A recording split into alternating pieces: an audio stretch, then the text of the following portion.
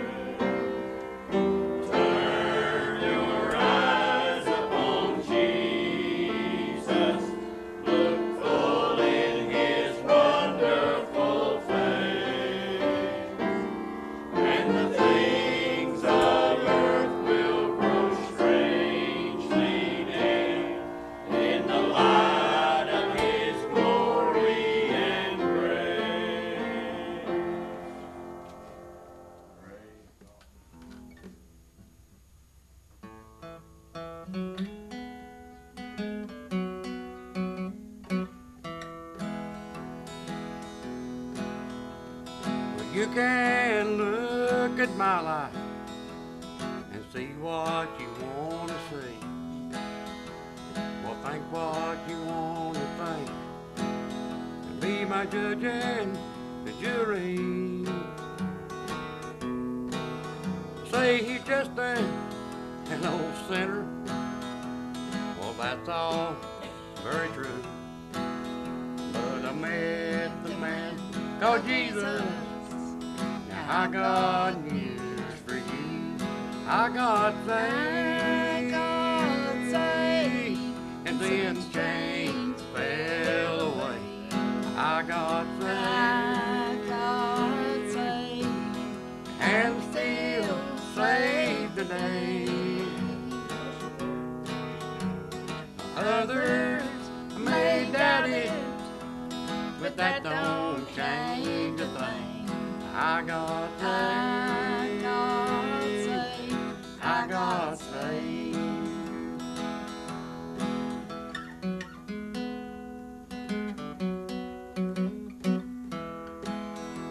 Well, I may not preach like some folks, or sing the way some do. May not raise my hands the highest, or shout like some of you. Hear my testimony, yes, some of you may frown, but I'm washed in the blood of Calvary, and my name's been written down. I got saved, and then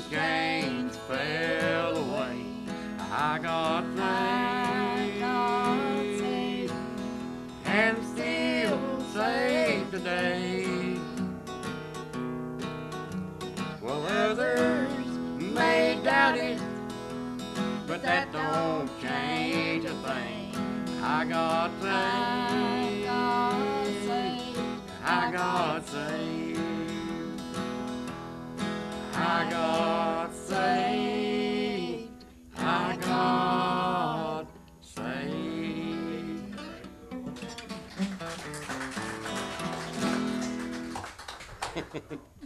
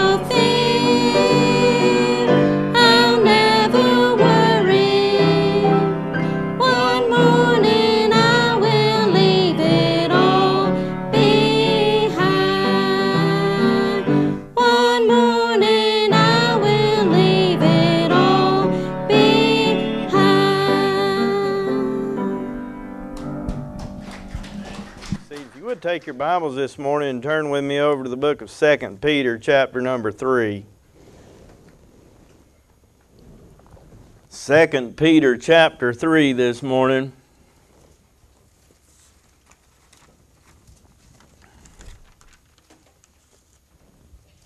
And while you're turning there, I would say that uh, we're on upper peachtree baptist upperpeachtreebaptistchurch.com.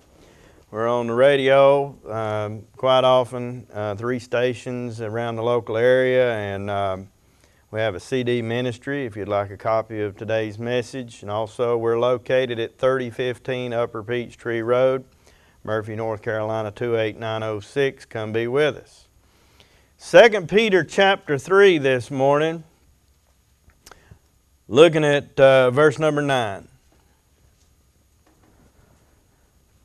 2 Peter chapter 3 verse 9 the Bible says the Lord is not slack concerning his promise as some men count slackness but is long suffering to usward not willing that any should perish but that all should come to repentance. And I'd like to speak today Lord willing for just a few minutes on this subject.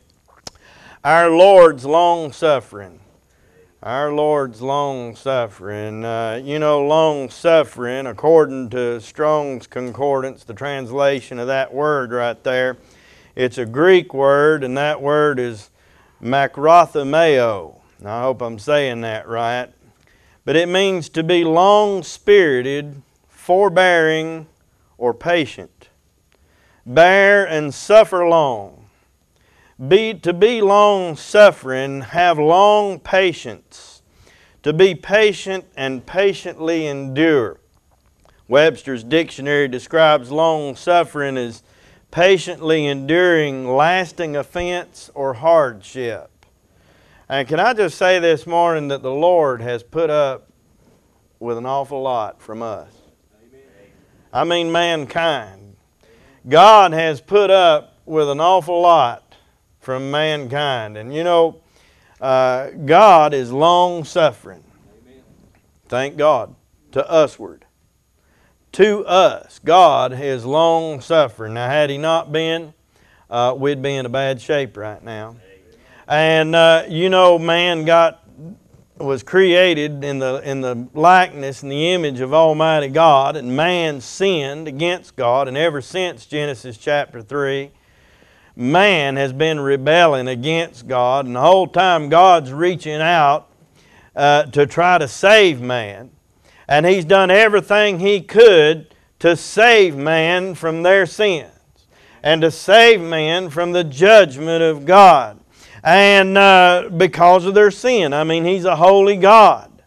And uh, we think about God's long suffering and how that, you know, uh, all the way back, the Bible talks about in Exodus chapter number 34. And if you'll just hold your place right here, I'd like for you to look at this. But Exodus chapter number 34, uh, Moses was had gone back up there to talk with the Lord and get the tables renewed because Israel had uh, made them some golden calves and went to worshiping them out there in the wilderness. And this is after. Now, after God spoke to the whole group of people, the whole bunch of Israel. He told them in chapter 19, He said, Sanctify yourselves three days, and then the third day I'll speak to the whole congregation and have them come near the mountain, but don't let them touch the mountain, because if they touch the mountain, holy God would break forth and they would die. And the mountain would be holy, and God came down on the mountain. And you get into Exodus chapter number 20, the first time that you hear the Ten Commandments, He's not just speaking to Moses. The voice of God is thundering from Mount Horeb in Sinai to the whole congregation. And a matter of fact, listen, the fear of God came upon them. And they fell on their faces. And they told Moses, they said, You go talk to the Lord. Uh, we're too scared. Oh, the fear, the fear of God came over them. And yet after that, what'd they do?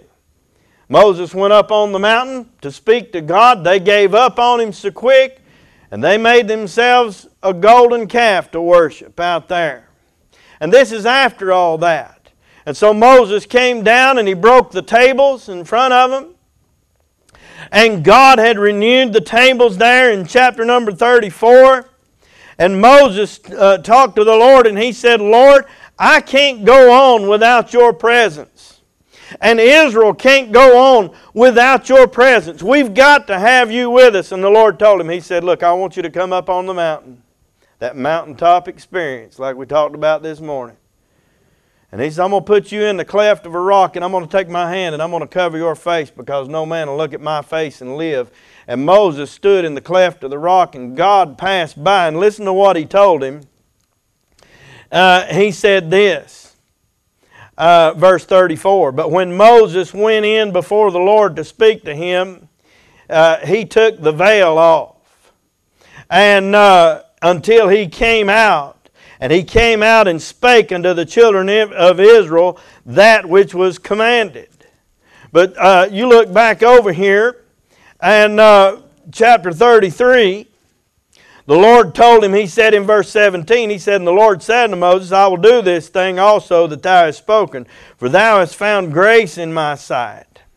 And I know thee by name. Has, have you found grace in His sight? Does He know you by name? And he said, I beseech thee, show me thy glory. And he said, I will make all my goodness pass before thee, and I will proclaim the name of the Lord before thee. Now, when, when God passed by Moses that day, God Himself proclaimed the name of the Lord to Moses. Don't miss this. He said, I will proclaim the name of the Lord before thee, and will be gracious to whom I will be gracious, and will show mercy on whom I will show mercy. Now look in chapter 34, verse 6, verse 5. And the Lord descended in the cloud and stood with him there and proclaimed the name of the Lord. And the Lord passed by before him and proclaimed, listen to this, the Lord, the Lord God, merciful and gracious Listen, long suffering and abundant in goodness and truth, keeping mercy for thousands, forgiving iniquity and transgression and sin, and that will by no means clear the guilty, visiting the iniquity of the father upon the children and upon the children's children until the third and to the fourth generation. Can I just tell you that long suffering is his middle name? He said, I'll proclaim my name before you. And when God passed before Moses, he proclaimed that his middle name is long suffering. Look at what he put up with. I mean, after all the wonders that he did in Egypt to bring those people out, and the, the wonders that he exacted on Pharaoh, and then when they came to the Red Sea and he parted the Red Sea and they walked across dry shod and he made water come out of a rock, and he sent them quails, and he sent them manna from heaven to feed them. And after all this, and they saw the pillar of fire by day, and they, or the cloud by day, and the pillar of fire by night, and they heard the voice of God Almighty speak, and yet they rebelled and looked at a golden calf and said, This is the God that brought us out of Egypt. The mercy and the grace of Almighty God for his people and the long suffering that he put up with. You know, way back in Noah's day, he flooded this thing because of their sin. And uh, there was one man on planet Earth that found grace in the eyes of the Lord, and that was Noah. And because of his long suffering and his mercy and his grace, he put a rainbow in the cloud. And he said, I'll not flood this thing again. Amen. Yeah. But now, listen to what's coming back to the original text, 2 Peter chapter number 3, beginning in verse number 1. The Bible said this, This second epistle, beloved, I now write unto you, in both which I stir up your pure minds by way of remembrance.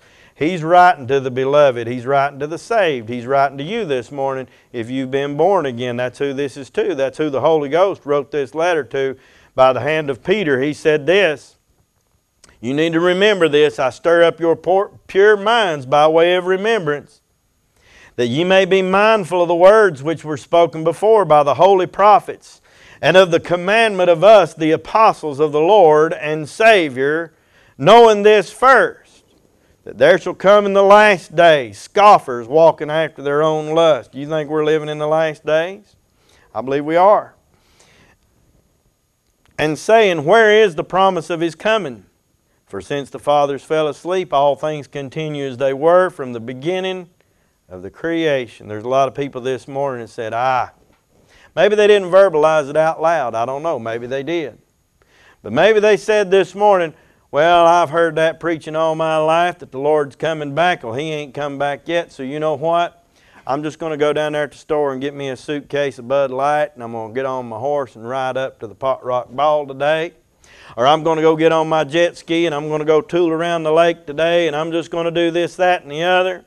And I'm just going to eat, drink, be merry, and have a good time, and scoffing at sin and scoffing at the Word of God, making a mockery of sin and making a mockery of the preaching of the holy Word of Almighty God. He said this will be going on in the last days. And they're walking after their own lust, he said. And they say, Where is the promise of his coming? For since the fathers fell asleep, all things continue as they were from the beginning of the creation. For this they willingly are ignorant of, that by the word of God the heavens were of old, and the earth standing out of the water and in the water. You tell me this ain't going on. The news was on yesterday, and they said they'd made a big discovery, I think, down in South America, and come found a, a, dragon man fossil. A, a, fossil of a man that was some kind of half dragon and half man, and you know, maybe the monkey theory didn't work, so they're now they're saying a dragon theory. I don't know, but they're willingly ignorant that God created it all that God created man, amen, in his likeness and breathed into man a living soul. For this they willingly are ignorant of, that by the word of God the heavens were of old. It was by his word he created everything. In the beginning was the Word, the Word was with God, and the Word was God. And it was by His Word, amen, by Jesus. If you can ever get it nailed down in your heart. Jesus is the Word, the Word is Jesus, and it was by His Word. See, when Jesus was, uh, came incarnate, the Word became flesh, the Word of God, and dwelled among us. And they're willingly ignorant. You know, there's none so blind as those who will not see. Those who will not see. But you see the patience that God has for these people. The, the people that are willingly ignorant. He's still forbearing. And he's still being patient with them. And he's still giving them an opportunity. And we were talking out on the porch a while ago with some of the men about how that they wish that the lost people in this community would come to Christ. And how they wish that the lost people right around this church would come to Jesus. And as we were talking, there was a lawnmower cranked up somewhere, and we could hear the lawnmower running here on Sunday morning. God is reaching out. Amen. Jesus is reaching out to whosoever will. Let him come and let him drink of the water of life freely. And the church is sending out the call whosoever will, let him come. And God has not given up on man. And uh, He's reaching out. And, and then it says this whereby the world that then was being overflowed with water perished. But the heavens and the earth which are now by the same word are kept and stored, listen to this, reserved unto fire against the day of judgment and perdition. That means the destruction of ungodly men. Here we see the, the mercy and the severity of Almighty God. I mean, He's holy God. And He is long suffering, but His suffering is not indefinite. And there will come a day when He will judge man.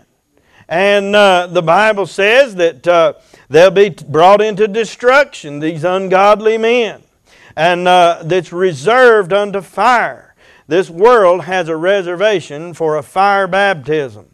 And uh, he said, listen, verse 8. Now he's talking to the saved again here. He says, But beloved, that's the saved, be not ignorant of this one thing, that one day is with the Lord as a thousand years, and a thousand years as one day. Brother Jeff brought it out in the Sunday school lesson. I jotted down uh, some of the things he said, but at the very first of the Sunday school lesson, he was talking about being patient and how we have to be patient. God is patient with man, is He not?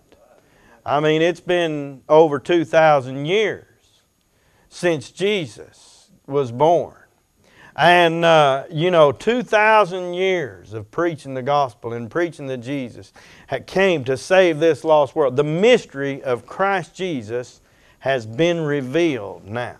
All the prophets that were sent looked into that through, through the Old Testament.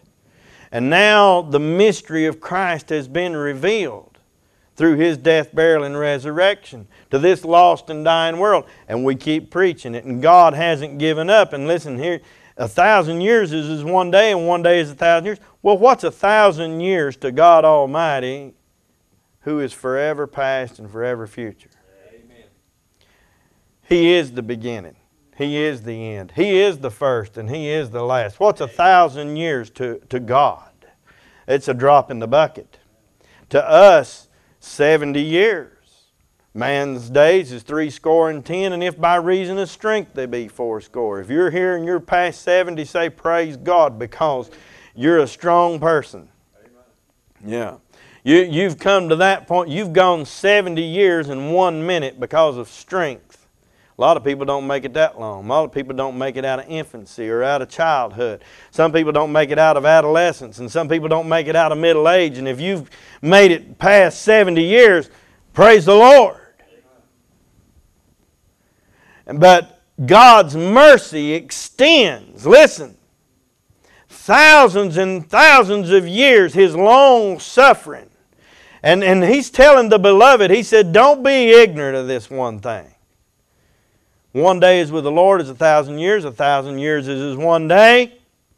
And verse 9, he says, The Lord is not slack concerning His promise.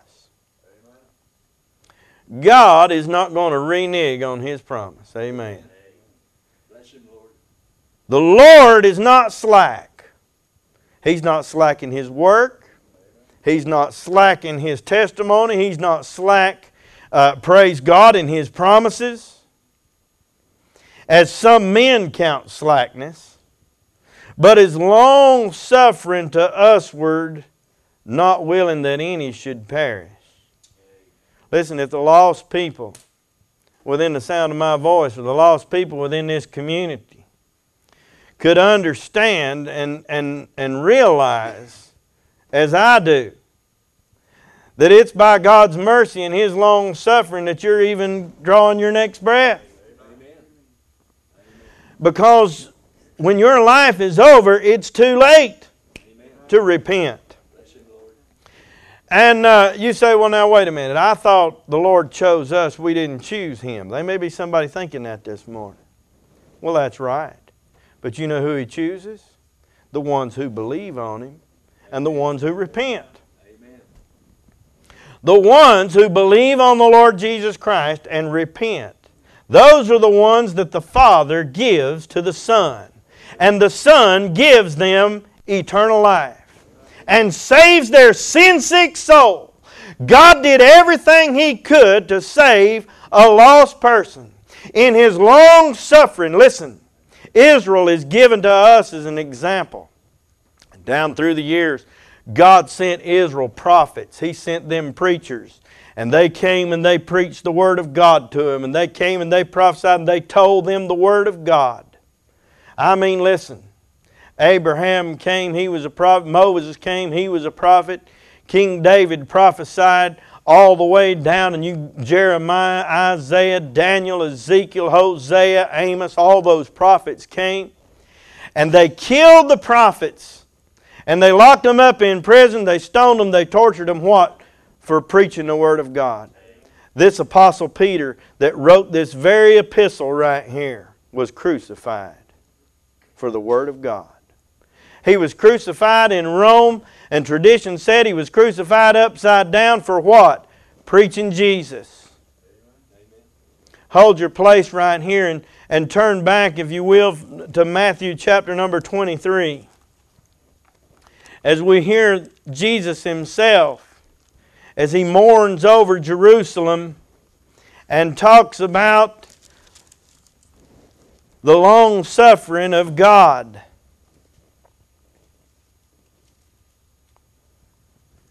He says this, verse 34 Wherefore, behold, I send you prophets and wise men and scribes, and some of them shall ye shall kill and crucify. That's what they did to Peter, that's what they did to Jesus. And some of them shall ye scourge in your synagogues and persecute them from city to city, that upon you may come all the righteous blood shed upon the earth, from the blood of righteous Abel unto the blood of Zechariah, uh, son of Barachias, whom ye slew between the temple and the altar. Verily I say unto you, all these things shall come upon this generation. Then listen to what he says. O Jerusalem, Jerusalem, thou that killest the prophets and stonest them which are sent unto thee, how often would I have gathered thy children together, even as a hen gathereth her chickens under her wings, and you would not?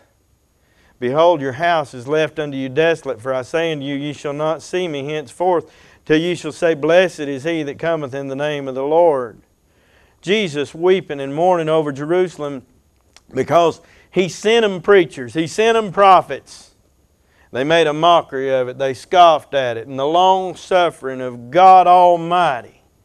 Listen, he listened to his own son cry out from the cross and say, My God, my God, why hast thou forsaken me? So he could save you. Amen. So he could save you. You say, Well, what's God done to save me? He died on the cross of Calvary to save you. God the Son said, It is finished, and bowed his head and died. When the Savior cried, bowed his head and died, oh, praise the Lord. He did it all for me. He did it for you. And we'll stand before Him guilty Amen. Had it not been for a man called Jesus. Amen. then forever my soul would be lost. The brother talked this morning about how we've got an intercessor, a mediator, an advocate in the Lord Jesus Christ who stands before God the Father. And did you know that when Jesus died, he went to heaven and he took his blood and sprinkled it upon an altar before God the Father. And every time God the Father looks at that altar and he sees the blood, he sees what saves your soul. And that's what stays the wrath of God back. The long suffering of God. God has not given up on you, sinner, lost person. We shouldn't give up on them either. God hadn't give up on them. Bless him, Lord. He's long suffering to usward. Listen, He's not willing that any should perish. God doesn't want anyone to die and go to hell. Look at the great lengths that He went to. I mean, He sent His only begotten Son to die on Calvary's cross to save us from our sins. Praise the Lord. We were redeemed not with the corruptible things of this world, but by the precious blood of the Lord and Savior Jesus Christ. Plus or minus nothing. He's not willing. He doesn't want anyone to perish. Friend, Jesus told a parable that has to do with God's long suffering. With His long and, and the way He's a mediator between us. Turn, if you will, hold your place here and turn back to Luke chapter number 13. Luke chapter 13. Jesus is talking about repentance. Now remember, the scripture today said God's not willing that any should perish, but that all should come to. You can't be saved uh, apart from repentance. When you hear that, that the Lord, listen, died on Calvary's cross, and His blood cleanses us from all unrighteousness, then that ought to be enough for us to turn from our sin and follow Jesus. That ought to be enough for us to repent, listen, and follow the Lord. Listen to what He says right here. Uh, verse 1. There were present at that season some that told him of the Galileans whose blood Pilate had mingled with their sacrifices. In other words, there were some Galileans out there that was sacrificing to the Lord, and Pilate, old wicked Pilate, uh, killed them and mingled their blood with the blood of them their sacrifices. I, I kind of think that he offered them up on the altar. Old Pilate did. Yeah. And Jesus answering and said unto them, Suppose ye that these Galileans were sinners above all the Galileans because they suffered such things? I tell you, nay. But except you repent, ye shall all likewise perish. Now that's not my words. That's the words of Jesus in the red letters. Except ye repent, ye shall all, A-L-L, likewise perish. Amen. Now skip down to verse 6. He spake also this parable. Now, this goes to the long suffering of God. He spake also this parable. A certain man had a fig tree planted in his vineyard. Now, this man, he owned the vineyard and he owned the fig tree. Don't miss this. And he came and sought fruit thereon and found none. How many of you know that the manifestation of our salvation is in the fruit that we bear? How many of you know that if you're saved, if you're plugged into the vine, you'll bear fruit because Jesus said, I'm the vine and you're the branches. And if you're in me and I abide in you, you will bear fruit. Amen. What fruit? Bless you, Lord. The fruit of the Spirit. Amen. But he came to this tree. He said, uh, he, this man had a fig tree planted in his vineyard, and he came and sought fruit thereon, and he found none. Then said he unto the dresser of his vineyard, Behold, these three years. There's the long suffering of God, the long suffering of the farmer. He said, These three years I come seeking fruit on this fig tree and find none. He says, Cut it down. Why cumbereth it the ground? I've heard this, read this about all my life. Never knew what cumbereth meant. So I looked it up. You know what cumbereth means? Why does it break through the ground? Y'all that I have gardens and grow things, when that thing sprouts up, it breaks through the ground. It's cumbering the ground. It divides the soil. It comes up. He said, Why is it even growing up here? Why is this thing even growing and, and shooting up right here? Because there's no fruit on it. And this is what he said. Why cumbereth it the ground? And he answering, now this is the dresser of the vineyard, he answering and said unto him, Lord, let it alone this year also, till I shall dig about it and dung it. Let, let me work on it, Lord. Let me dig around it and let me fertilize it. Don't, don't do it this year. Let's don't cut it down this year.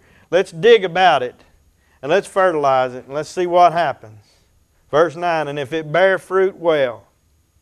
And if not, then after that thou shalt cut it down. Now I see two things in this. I see the Lord Jesus Christ as a mediator between God and man and making intercession and standing in the gap between us and saying, Look, hold back the wrath of God until it's time.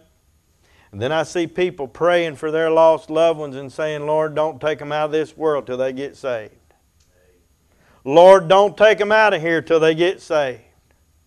God have mercy. God be long suffering. He's already waited three years. It ain't bearing any fruit. He said, Give it one more year. And let's see what happens. If it starts bearing fruit, well. But if it don't after that, then cut it down. I'm going to tell you something. John the Baptist came preaching up back there in Luke chapter number 3. And one of the things he said about the Lord Jesus Christ is he said the axe is now laid where? At the root of the tree. Amen. The axe is laid to the fruit of the tree. The things are set in motion, and all judgment is given unto the Son. And yes, we see the mercy, and we see the grace, and we see the love, and we see the long suffering of God. But there will come a time when time will run out. Amen. Today, on planet Earth, there's going to be about 50,000 people on planet Earth today that time's going to run out. Because the lights are going to go out, and every day on planet Earth there's about 50,000 people being born, and there's about 50,000 of them dying, stepping out to meet God, whatever shape they're in, saved or lost. Out of that 50,000, there's a certain percentage of them, a few, the Bible says, that step into the arms of Jesus and are saved. And there's a whole lot of them that are on the wide, broad path to destruction that drop off into hell by the bushelful. Because why? They scoffed and they mocked at the preaching of the Word of God. They scoffed and they mocked at sin. And then what happened? The hammer fell. Listen to what the Bible says, 2 Peter chapter 3, the original text. He's telling the beloved, be not ignorant of this one thing, that one day is with the Lord as a thousand years, and a thousand years is one day. The Lord is not slack concerning his promises. Some men count slackness, but is long suffering to usward, not willing that any should perish, but that all should come to repentance. This notion that there's only certain people that are predestined to be saved, and then certain people that are predestined to be firewood, that's a false doctrine. God wants everybody to be saved. Amen. Yeah. The ones who believe on the Lord Jesus Christ, who turn from their sin and trust Jesus, listen, praise God, they were predestined for the mud seals of the world was because God not only knows he not only knows who's lost, he knows who's saved and he knows who's going to be saved. He knows past, present, future. Now we don't. We don't. So the call goes out to whosoever will. Let him come. God's not willing that any should perish, but that all should come to repentance. But look at verse 10. Look at the very next verse. But the day of the Lord will come as a thief in the night, in which the heavens shall pass away with a great noise, and the elements shall melt with a fervent heat. The earth also and the works that are therein shall be burned up. You want to know when global warming's going to be here? There it is. This earth and all the works in it are going to burn up. So when's that going to be? Revelation chapter number 20. And when Jesus sits in the great white throne judgment, heaven and earth shall flee away from the face. The heavens will pass away with a great noise. And the elements themselves, you know, you remember in chemistry class, the, the elements of the periodic table, what makes up matter, all those elements, it's all going to burn up. All the witty inventions of man is going to burn up. Burn up. Watching a documentary the other day. I watch a lot of these documentaries because a lot of this stuff fascinates me. We were watching, and they had built this flying suit. I don't know if you've seen one. They go up and jump off of a mountain. They've got a suit, and they glide like a bird. Now, it's not a parachute. This is a suit, kind of like that coyote that ordered that Acme Batman suit, you know. It says one, one, Acme Batman suit. These guys go up on a mountain and jump off the mountain, and they, they've got faith in this flying suit. And it helps them fly. And I looked at it and I told Charlotte, I said, there is no end to man's witty inventions. But all the witty inventions of man will burn up. Amen. There will come an end. The day of God is coming. Listen, verse 11 Seeing then that all these things shall be dissolved, they're going to evaporate, uh, vaporize. All these things shall be dissolved. What manner of persons ought you to be in all holy conversation and godliness? Looking for and hastening unto what? The coming of the day of God, wherein the heavens, being on fire, shall be dissolved, and the elements shall melt with fervent heat. Nevertheless, we, according to his promise, look for new heavens and a new earth, wherein dwelleth righteousness. Praise God.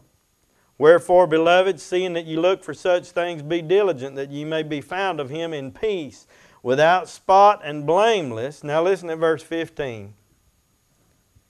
An account that the long suffering, there it is, account that the long suffering of our Lord is salvation. Thank God there is opportunity for salvation because the Lord is long suffering. There's still hope for our lost family members. There's still hope for those in this community as long as the Lord's long suffering is in place. We're looking for the day of God to come. For the saved, when, when the Lord comes in the rapture and He takes us home, the day of God is going to be a day of gloominess for all those on the earth. A day of darkness, a day of seven years of tribulation time, followed by the judgment.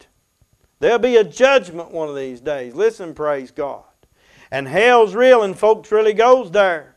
There's going to be a lake of fire and hell itself will be cast into that. But right now there's time and, and right now there's a time of grace and there's a time of long suffering for lost people. God, listen, Jesus is reaching out that nail scarred hand to you today if you're lost. And He wants to save your sin sick soul. But here's the sad thing we're living in the last days when people's hearts are so hardened and they're obstinate toward the things of God. Matter of fact, the Bible said, uh, the Apostle Paul told uh, Timothy, he said, But thou, Timothy, preach the word, be instant in season and out of season. Reprove, rebuke, and exhort with all what? Long suffering and doctrine. For the time will come when they will not endure sound doctrine. But after their own lust, they'll heap into themselves teachers having itching ears. I don't like what this guy says, I'll go hear what this guy says. I want religion, but I want it to fit in my lifestyle. I want Jesus, but I want him to fit in my lifestyle. And honey, it don't work that way. It don't work that way. You'll come by the blood, and you'll come by the cross, and you'll come and you'll, you'll listen. You'll believe on the Lord Jesus Christ, and you'll come and repent of your sins, or you won't get saved. Amen. Period. And he says this account. In other words, listen, consider or, or lay it to the account that the long suffering of our Lord is salvation. My, my understanding of God Almighty only goes so far, okay? Here's what I understand I understand that God is long suffering. I understand that He's gracious, and I understand that He's merciful. And I understand it's because He loves us. But that's as far as my understanding goes because here's what I don't understand I don't understand why He loves us. Sinner wretch as I. Why would He love somebody as unlovable as I am? That's deserving of hell. I don't understand why he loves us so much. Only thing I can tell you is that for right now, he's long suffering to usward, and he's not willing that any should perish. And the Bible says that his mercy endureth forever. Moses was the friend of God. David was a man after God's own heart. And you don't have to turn there, I'll just read it to you. But it's in Psalm number 86. It's a prayer of King David, and here's what uh, he said.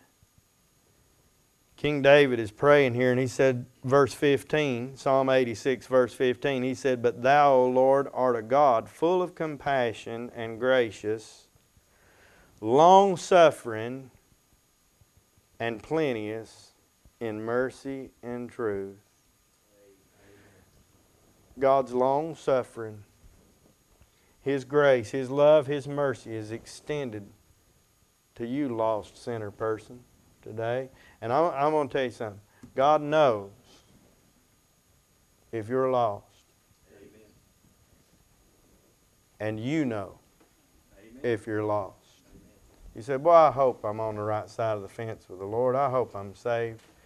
Friend, if it's that right there, you need to get in an altar. You need to call on the Lord.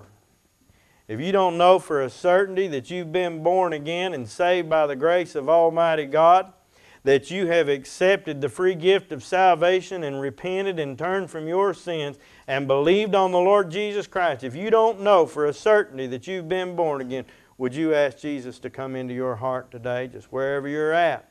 And then make that public. Listen, He's not ashamed of you. You shouldn't be ashamed of Him. Praise God, He has every reason in the world to be ashamed of me because I'm a sinner. It's been saved by His grace. But I have no cause to be ashamed of Him. And you know, one of the fruits of the Spirit, Galatians chapter 5 love, peace, joy. What's the next one? Long suffering. There's nine of them. Nine, there's one fruit of the Spirit, but there's nine attributes of that fruit. And if you bear that fruit, one of those fruit, the attributes of that fruit, is long suffering. Why? Because God is long suffering. Now, when you get saved, here's how you know that you're saved, okay? We have the, the fleshly outward man. We have the soul in man, which is that conscious part of us that will live on and on, either in heaven or hell. And within that soul is the spirit of man. Now, when we're saved, God's Holy Spirit comes in and dwells with our spirit within our soul. And God the Holy Spirit bears witness with our spirit that what? We are the children of God. It's a know so salvation. Yeah. And uh, you can go through the motions, but if that Spirit of Almighty God has not indwelled us and come into, into our soul and abide with us and bear witness with our spirit, listen, the new birth has not taken place. Amen. And right now, God is long suffering to usward. That's all of us. Not willing that any should perish, but that all should come to repentance. Amen. Repentance.